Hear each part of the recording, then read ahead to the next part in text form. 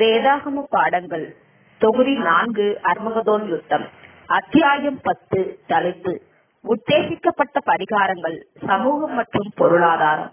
பக்கம் அறுநூற்று அறுபத்தி ஒன்பது முதல் அறுநூற்று எழுபத்தி எட்டு வரை.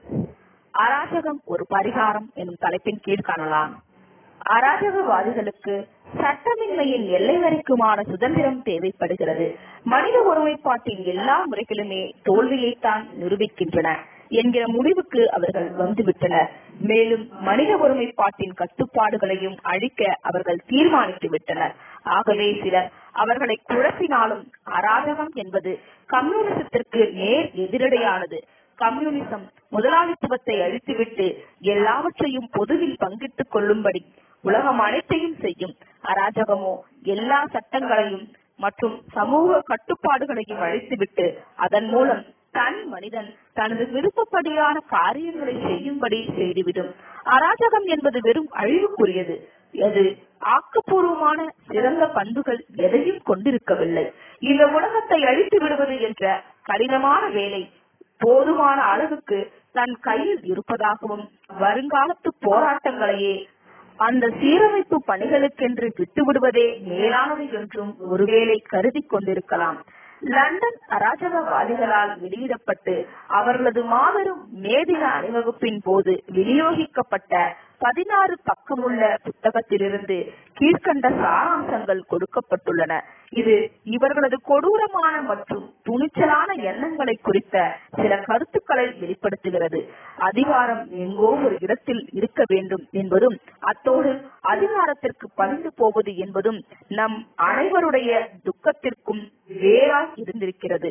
எனவே இதற்கு ஒரு பரிகாரமாய் அரசாங்க அதிகாரம் அல்லது போதனைகளுக்குரிய அதிகாரத்திற்கு எதிராக எதிரான வாழ்வா அல்லது சாவா என்கிறதான போராட்டத்தை நாங்கள் அறிவுறுத்துகின்றோம். மதம் தேசபக்தி போன்றவற்றின் மீதான மூட நம்பிக்கைகள் சட்டத்துக்கு கீழ்ப்படிதல் அரசாங்கத்தின் நன்மையின் மீதான நம்பிக்கை பதவியில் இருப்போருக்கும் செல்வம் படைத்தவருக்கும் அடிப்பணிதல் போன்ற நூற்றாண்டு காலமான அறியாமையின் விளைவுகள் சுருக்கமாய் சொல்ல போனால் உழைப்பாளிகள் யாவரையும் அடிமைப்படுத்தவும் மதிமயக்கவும் வடிவமைக்கப்பட்டிருக்கும் எல்லா ஒவ்வொரு மோசடிக்கும் எதிரான ஒரு போராட்டத்தை நாங்கள் அறிவுறுத்துகிறோம்.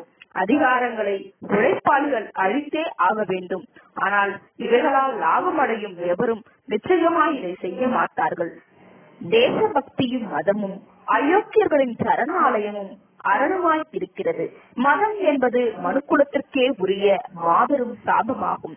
ஆனாலும் உழைப்பு என்ற மேன்மையான ஒரு வார்த்தையை உழைப்பாளரின் சபை. உழைப்பின் சபை என்பதனுள் அருவறுப்பான பதமாகிய சபை என்பதோடு இணைந்து விபச்சாரம் செய்வதை காண முடிகிறது. உழைப்பாளரின் காவலன் என்ற ஒன்றை பற்றி கூட பேசலாம். அரசாங்கம் என்பது நன்மைக்கு நன்மை பயக்கும் ஒரு ஸ்தாபனம் என்று நம்புகிறவர்களது கருத்துக்களை நாம் ஆதரிக்கவில்லை.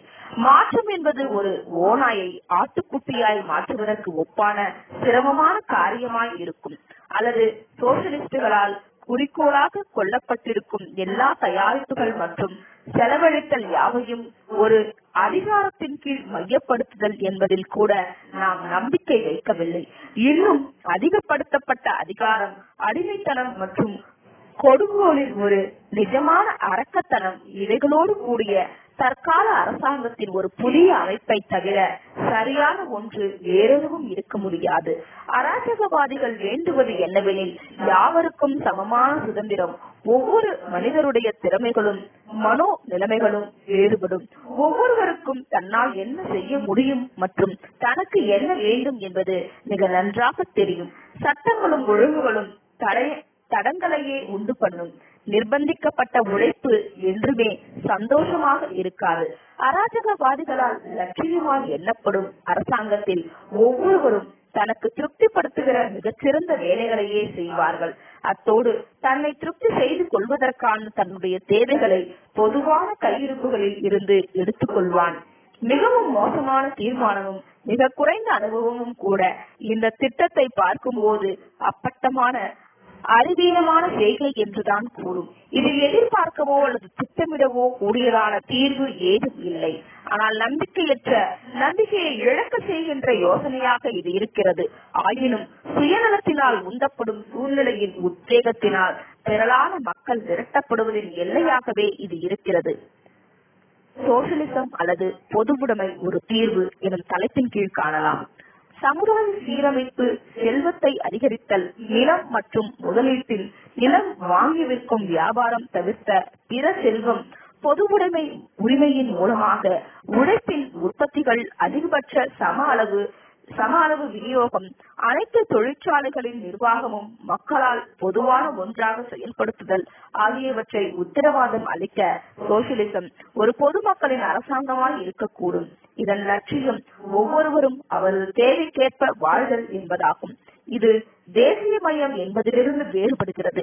இதில் எல்லா தனி மனிதனையுமே ஒன்று போல் மதிப்பு மதிப்பளிப்பது திட்டமிடப்படவில்லை. இது கம்யூனிசம் என்பதிலிருந்து வேறுபடுகிறது. பொருட்களோ அல்லது சொத்துக்களோ அடங்கிய சமுதாயத்தை இது பரிந்துரைக்கவில்லை. இவ்வண்ணமாய் இது நமது கருத்தின்படி இரண்டின் தவறுகளையே தவிர்க்கிறது. அத்தோடு கூட ஞானமுள்ள மிதமான சுயநலமற்ற மனிதனால் படிப்படியாக இது அறிமுகப்படுத்தப்படுமே ஆகில் இது மிகவும் நடைமுறைக்கு ஒத்த கோட்பாடாக இருக்கும். பல்வேறு இடங்களில் ஒரு சிறு அளவில் ஏற்கனவே இந்த தத்துவம் நிறைவேற்றப்பட்டுள்ளது. அமெரிக்க ஐக்கிய நாட்டின் பல நகரங்களில் தண்ணீர் விநியோகம் சாலை மேம்பாடுகள் பள்ளிகள் தீயணைப்பு மற்றும் போலீஸ் இலாக்காக்கள் பொதுநலம் கருதி இப்படித்தான் செயல்படுத்தப்படுகின்றன. ஆனால் இந்த விஷயத்தை பொறுத்தமட்டில் ஐரோப்பா நம்மை காட்டிலும் முன்னிலையில் இருக்கிறது. அங்கு அவர்களது பெருவாரியான ரயில் பாதைகளும் தந்தி தொடர்புகளும் கூட இப்படித்தான் செயல்படுகின்றன. பிரான்ஸ் நாட்டின் புகையிலை வியாபாரம் அதனுடைய எல்லா லாபங்களுடன் அரசாங்கத்தை மக்களையே சார்ந்ததாக இருக்கிறது. ரஷ்யாவில் மதுபான வியாபாரம் பொதுமக்களின் லாபத்துக்காகவே அரசாங்கத்தால் நடத்தப்படுகிறது. அத்தோடு நேர்மையான ஒன்றாக இருப்பதாகவும் அது கூறப்படுகிறது. கீழ்கண்ட சுவாரஸ்யமான புள்ளி விவரங்கள். நியூஜெர்சியை சேர்ந்த ராணுவ கல்லூரியின் இடி டேபிட் எல்எல்டி என்பவரின் சமூக மேம்பாட்டு கட்டுமானம் என்ற நூலிலிருந்து கொடுக்கப்படுகிறது. அறுபத்தி எட்டு அரசாங்கங்கள் அவர்களது சொந்த தந்தி தகவல் உரிமைகளை வைத்திருக்கின்றன. ஐம்பத்தி நான்கு அரசாங்கங்கள் தங்களது சொந்த ரயில் ரோடுகளை முழுமையாகவோ அல்லது தகுதியாகவோ பெற்றிருக்கின்றன. ஆனால் அமெரிக்க ஐக்கிய நாடுகளிடையே பத்தொன்பது மட்டுமே இருக்கின்றன.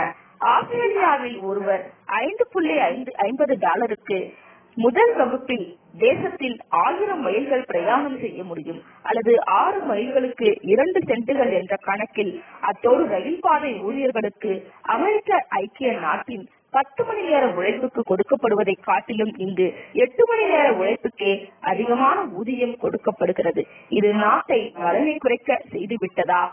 இந்த ஊதிய விகிதம் நிலவும் விக்டோரியாவில் ஆயிரத்தி எட்நூத்தி தொன்னூற்றி நான்காம் ஆண்டு ஆண்டுகளில் நிகர வருமானம் அரசாங்க வரியை செலுத்த போதுமானதாய் இருந்திருக்கிறது. ஹங்கேரியில் சாலைகள் அரசாங்கத்தை சேர்ந்தவைகளாய் இருக்கின்றபடியினால் ஒரு சென்ட்டுக்கு ஒருவர் ஆறு மைல்கள் வரை பிரயாணிக்கலாம். இங்கு கூலி இரட்டிப்பாகிவிட்டது. பெல்ஜியத்தில் பிரயாண செலவு பாதியாக குறைக்கப்பட்டுள்ளது. தொழிலாளியின் கூலி இரட்டிப்பாக்கப்பட்டுள்ளது. எல்லா சாலைகளின் மூலமும் வருடத்திற்கு நான்கு மில்லியன் டாலர் வருமானம் அரசாங்கத்திற்கு கிடைக்கிறது. ஜெர்மனியில் ஒரு சென்ட்டுக்கு நான்கு மைல் தூரம் ஒருவர் பயணிக்கலாம். கார்பரேஷன்களின் உடைமைகளாய் இருந்ததை காட்டிலும் இப்போது இதன் ஊழியரது ஊதியம் நூற்றி இருபது விழுக்காடு அதிகமாகிவிட்டது. இப்படிப்பட்ட முறைமைகள் அழிவை நிரூபித்து விட்டனவா? இல்லை. கடந்த பத்து வருடத்தில் நிகர லாபமானது நாற்பத்தி ஓரு சதவிகிதம் அதிகரித்துள்ளது. கடந்த வருடம் ஆயிரத்தி எட்நூத்தி தொன்னூற்றி நான்கில் ஜெர்மனியில் சாலைகள் அரசாங்கத்திற்கு இருபத்தி ஐந்து மில்லியன் டாலர் நிகர லாபத்தை ஈட்டி தந்திருக்கிறது. அரசாங்கம் சாலைகளை உரிமையாக்கிக் கொள்வதன் மூலம் அமெரிக்க நாட்டின் மக்களுக்கு ஒரு பில்லியன் டாலர் பணத்தை மிச்சப்படுத்துவதுடன் அதன் தொழிலாளிகளுக்கு மேலான ஊதியத்தை கொடுக்கக்கூடும் என்பது மதிப்பிடப்பட்டிருக்கிறது. தற்போதிருக்கும் ஏழு லட்சம் பேருக்கு பதிலாக சந்தேகமின்றி இரண்டு மில்லியன் வேலையாட்கள் தேவைப்படுவார்கள். ஜெர்மனியில் பெர்லின் நகரமே உலகிலேயே மிக தூய்மையானதும் மிக நேர்மையாய் அமைக்கப்பட்ட சாலைகளை உடையதும் மிக சிறந்த முறையில் நிர்வகிக்கப்படுவதுமாய் இருக்கிறது. இது தனக்கு சொந்தமாக வாயு வேலைகள் மின்சார விளக்குகள் நீர் வேலைகள் சாலை ரயில் பாதைகள் நகர தொலைபேசிகள் மற்றும் அவைகளுக்குரிய தீ காப்பீடு உட்பட அனைத்தையும் தன்னிடம் கொண்டுள்ளது. எனவே இவ்வண்ணமாய் மொத்த செலவுகளும் போக ஒவ்வொரு வருடமும் ஐந்து மில்லியன் மார்க் அல்லது ஒன்று புள்ளி இருபத்தி ஐந்து மில்லியன் டாலர் லாபத்தை பெறுகின்றது. இந்த நகரத்தில் அந்த நகரவாசிகள் வருடம் முழுவதிலும் ஒவ்வொரு நாளும் அவர்கள் வேண்டும் போதெல்லாம் அடுத்தடுத்து ஐந்து மைல் அளவிற்கு நான்கு புள்ளி ஐம்பது டாலருக்கு பிரயாணம் செய்யலாம். ஆனால் உயர்த்தப்பட்ட நியூயார்க் ரயில் பாதைகளில் ஒரு நாளைக்கு இரண்டு முறை பிரயாணிக்கலாம். இதற்கு முப்பத்தி ஆறு புள்ளி ஐம்பது டாலர் ஆகும். இருபதாம் நூற்றாண்டு என்ற புத்தகத்தில் திரு எஃப் கே ஆர் கோர்டன் கொடுத்திருக்கும் புள்ளி விவரங்களின்படி அமெரிக்க ஐக்கிய நகரங்களின் விளக்குகளை பார்க்கும்போது வருடத்துக்கு ஒவ்வொரு திரை விளக்கின் சராசரி விலை முனிசிபாலிட்டியின் கட்டுப்பாட்டின் கீழ் இருக்கும் போது ஐம்பத்தி இரண்டு புள்ளி நூற்றி இருபத்தி ஐந்து டாலரும் பல்வேறு நகரங்களின் தனிப்பட்டவர்கள் செலுத்தும் விலையோ சராசரி நூற்று ஐந்து புள்ளி பதிமூன்று டாலருமாக இருக்கிறது. அல்லது இது நகரங்களே இயங்கிக் கொண்டிருந்த போது இருந்ததை காட்டிலும் இரண்டு மடங்கை விட சற்று அதிகமே. ஆயிரத்தி எழுநூற்று தொன்னூற்று ஒன்றில் அமெரிக்க நாட்டில் ஒரு தந்திக்கு ஆகும் சராசரி செலவு முப்பத்தி இரண்டு புள்ளி ஐந்து சென்ட். ஜெர்மனியில் அரசாங்கமே உரிமை கொண்டிருக்கும் தந்தி தொடர்பில் பத்து வார்த்தைகள் அடங்கிய தந்தி செய்தி நாட்டின் எந்த பகுதிக்கும் ஐந்து சென்ட்டுகளில் அனுப்பப்படுகிறது. இங்கோ தூரம் அதிகப்பட அதிகப்பட கூலி அதிகமாகிறது. தூரத்தை பொறுத்து ஐந்திலிருந்து இருபது சென்ட்டுகள் வரை அநேகமாய் நாம் கூடுதலாய் கொடுக்க வேண்டியதாய் இருக்கும். ஒவ்வொரு முனிசிபாலிட்டியும் தங்கள் கட்டுப்பாட்டில் சமையல் வாயு நீர் நிலக்கரி சாலை ரயில் பாதை போன்றவற்றை சொந்தமாக கொண்டிருப்பதன் மூலம் குறிப்பிடத்தக்க லாபங்களை கிரேட் பிரிட்டனின் ஃபார்மிங்ஹாம் கிளாங்கோ மற்றும் பிற நகரங்களில் செயல்படுத்தி காட்டப்பட்டிருக்கின்றன. மிகவும் நல்லது.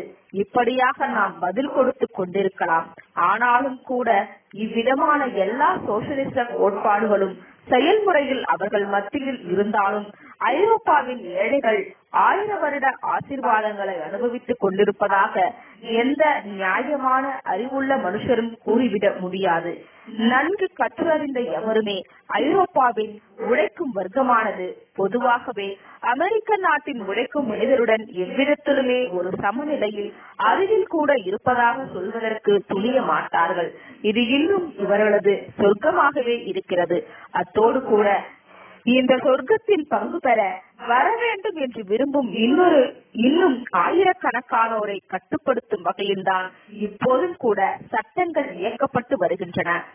ஆனால் ஐரோப்பிய ஏழைகளின் ஒவ்வொரு முன்னேற்ற சூழ்நிலையிலும் நாம் மனமகிழ்ச்சி கொள்ளுகின்ற வேளையில் கிரேட் பிரிட்டனை தவிர தேசியமயமாக்கும் இயக்கங்களினால் மக்களை பொறுத்த மட்டில் தர்ம சிந்தனையினாலோ அல்லது முதலீட்டின் பக்கம் இருக்கும் தேக்கத்தினாலோ பலன்கள் மிக பெரிய அளவில் இல்லை.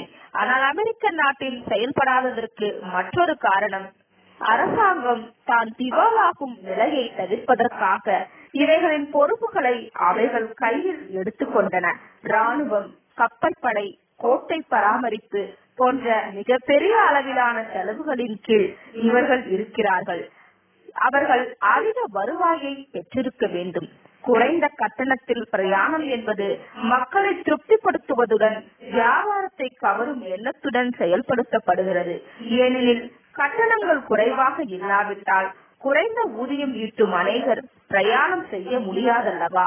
அவ்வகையில் ஜெர்மனியில் நான்காம் வகுப்பு பிரயாண பெட்டிகள் இருக்கைகள் எதுவும் இல்லாத வெறும் சரக்கு பெட்டிகளை போன்றே இருக்கின்றன.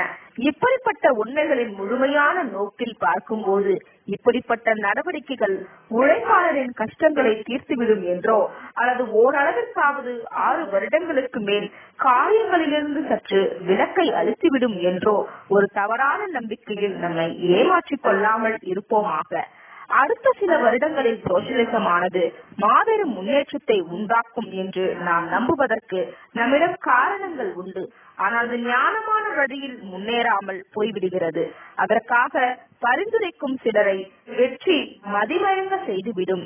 அதோடு தோல்வியானது மற்றவர்களை நம்பிக்கை இழக்க செய்துவிடும். மேலும் இதன் விளைவாக பொறுமையின்மை பேரழிவிற்கு வழிவகுக்கும். முதலாளித்துவமும் மற்றும் ஏகாதிபத்தியமும் சோசியலிசத்தை ஒரு பகைமையுடன் பார்க்கின்றன. அத்தோடு பொதுஜன கண்ணோட்டத்தில் மிக துணிச்சலோடு இதை கூடுமான வரை அவைகள் ஏற்கனவே எதிர்க்கின்றன. பெயரளவிலான சபை என்பது கலைகளும் உலகத்தனமும் நிறைந்து காணப்பட்டாலும் இந்த விஷயத்தில் அது இன்னும் ஒரு வலிமை நிறைந்த காரணியாகவே இருக்கிறது. ஏனெனில் சமூகத்தின் மேல் வகுப்பினரையும் கீழ் வகுப்பினரையும் சரிக்கட்டும் சக்தியை உடைய நடுத்தர வர்க்கத்தினரை பெரும்பாலும் தன் கட்டுக்குள் வைத்திருப்பதுடன் அவ்வகுப்பு மக்களின் பிரதிநிதித்துவமாகவும் சபை இருக்கிறது.